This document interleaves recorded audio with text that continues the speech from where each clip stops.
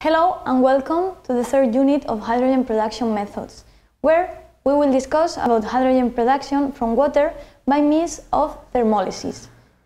We will start with a brief introduction about the different types of thermolysis, followed by a more detailed description of each method.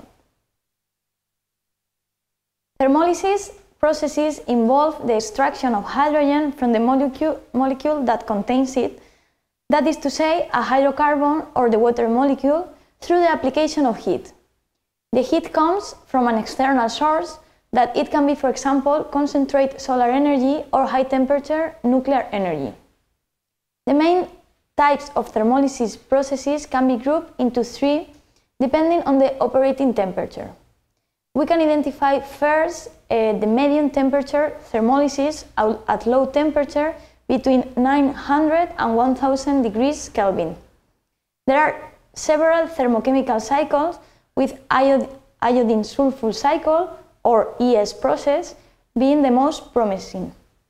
Secondly, we have the high temperature thermolysis where reduction reaction of metallic oxides take place in a higher level of temperature, up to 2500 degrees Kelvin.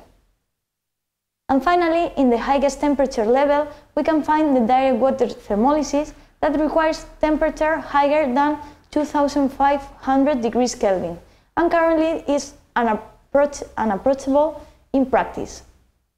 Currently, it is being researched how to increase the overall efficiency of the process. Now it's around 40%. Improvements in the design of the equipment, material requirements, and separation states. Studies focus on reaction kinetics, thermodynamics, stability of material, and the cost. By potential economies of scale, it is estimated that thermolysis is better than electrolysis of water with electricity. In fact, it is estimated that the cost of thermochemical nuclear production of hydrogen are 60% lower than in the case of electrolysis, thanks to the less energy conversions that the thermochemical production involves. In the medium temperature thermolysis, we can identify two main processes. The first one is the uh, cycle, where hydrogen is generated from water, iodine, sulfur dioxide, and thermal energy.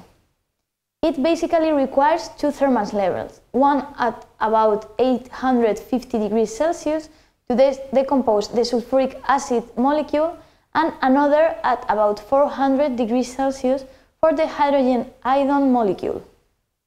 In the diagram, we can differentiate the different reactions that are taking place. The nucleus is the Bunsen reaction that occurs at about uh, 120 degrees Celsius. The Bunsen reaction occurs in liquid phase spontaneously and exothermic, exothermically. In order to optimize this cycle, it is necessary to introduce an excess of water and iodine. In addition, two distillation processes are carried out. The first distillation produces hydrogen iodine at 230 degrees Celsius. With the separate hydrogen iodine, its decomposition proceeds according to the third reaction at, the, at 360 degrees Celsius and that is where hydrogen is obtained. The second distillation produced sulfuric acid at 360 degrees Celsius, which is finally decomposed as 800 at 807 degrees Celsius, according to the second reaction. This reaction is what set the high temperature heat demand for the process. The process is a cycle because the sulfur dioxide and water produced by the second reaction are directly uh, guided towards the Bunsen reaction, which only consumes water from the outside. Hydrogen and oxygen are produced as a cycle product. The other process, process that uh, place through the UT 3 cycle requires also various thermal levels being the maximum 750 degrees Celsius. This intermediate uh, thermal level causes, causes poor coupling with available heat sources, for example with high temperature nuclear reactor and as a result there is a loss in efficiency. Despite this, nuclear energy sources and solar heat energy can be used as a heat source for this cycle. The separation of hydrogen from the products is done by membranes that operate below atmospheric pressure, so it is necessary to compress hydrogen and oxygen with the consequent energy consumption. The thermodynamics of this reaction has been shown to be favorable. However, the efficiency of this process is limited to 40% due to the melting point of the calcium bromide, which is 760 degrees Celsius.